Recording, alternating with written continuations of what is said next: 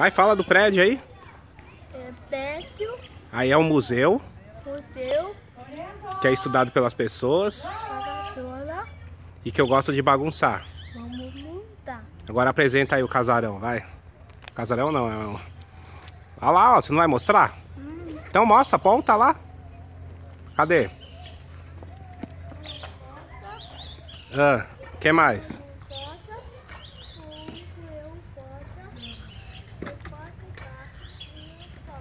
Agora vem aqui. Ah, você vai ser engenheiro, é? é dinheiro. Pra ganhar dinheiro? Sim. Ah, é? Então dá tchau pro pessoal, fala tchau. Tchau.